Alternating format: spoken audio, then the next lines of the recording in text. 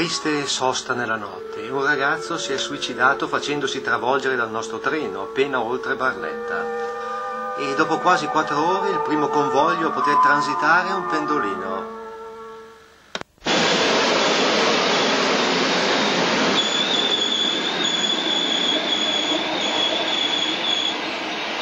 Sono sull'espresso 928 Lecce-Milano, preso alle 21.25 a Trani. La mia destinazione è Pescara, a 257 km da Trani, ma ormai vi arriverò solo alle 4 del mattino. E da Quito ecco un convoglio di Ale 841, cioè la recente poco brillante trasformazione di un bel complesso di Ale 601 in servizi media distanza. Ecco, ecco l'elettromotrice 09 della Sangritana che prenderò. La bionda, eh, pardon, la rossa 668 serie 3003 del deposito di Sulmona, una delle cinque in livrea pubblicitaria realizzata con pannelli autoadesivi. E via con la sangritana alle 6.55, ma non posso certo aggiungere la celebre frase, in un radioso mattino.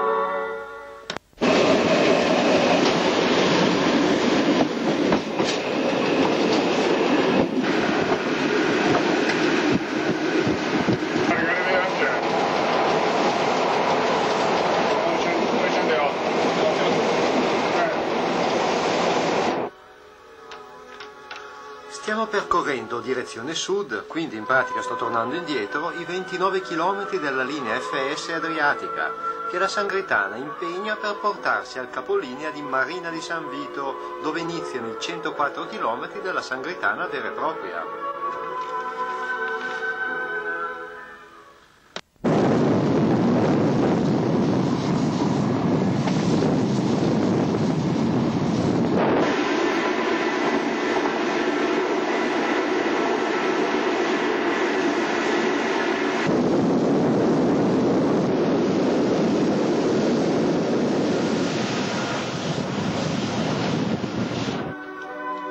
Siamo ad Ortona, dove l'Agib costruisce tra l'altro enormi ma poco ecologiche piattaforme petrolifere.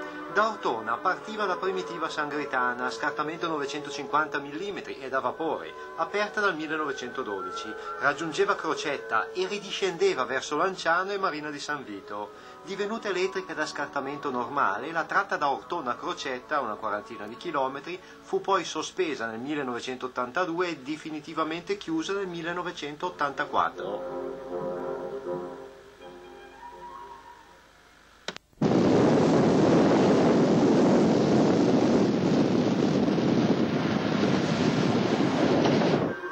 Siamo a Marina di San Vito, a destra si è affiancata la linea Sangritana che è scesa da San Vito città, che è sopra.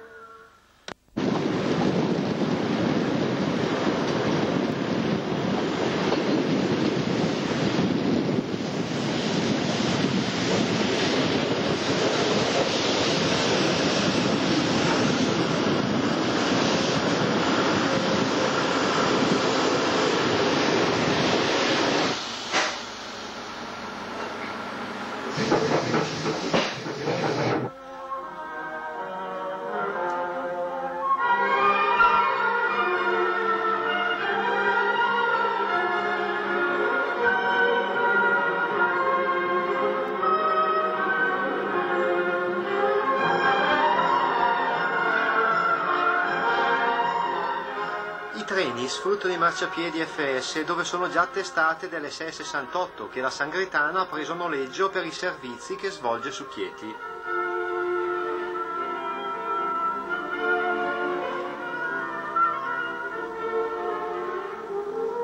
Un affare il noleggio, una 668 non è riuscita a partire ed è stata staccata ed ecco come riesce a partire l'altra.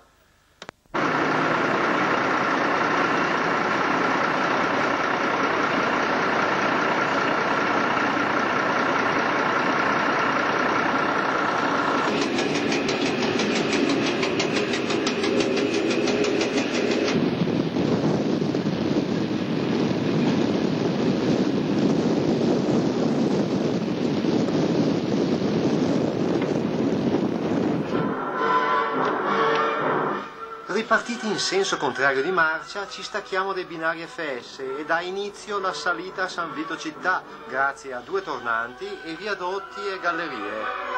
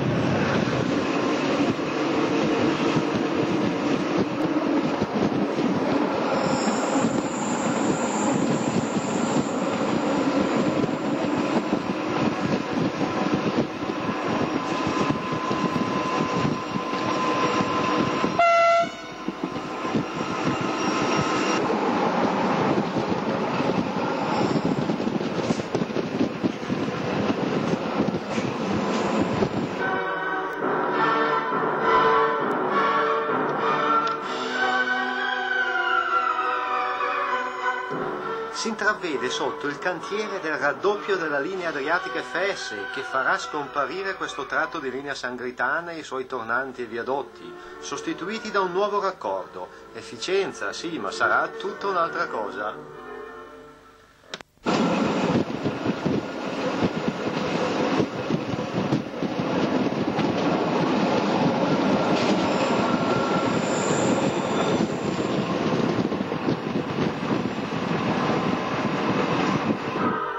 sul colle San Vito.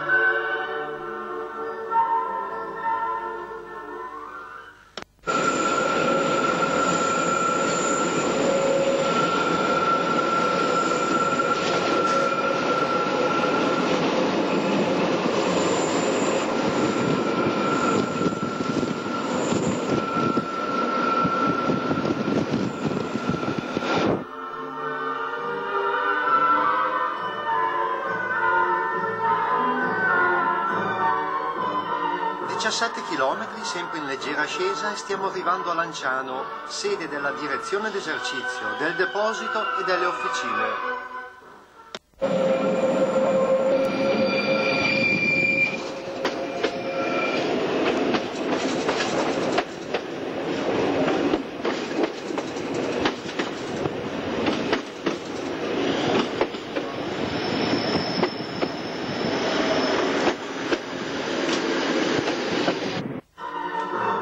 Sono 11 queste elettromotrici, spina dorsale della Sangritana, costruzione stanga T, anni 1955-60, potenza 340 kW, velocità 90 km all'ora.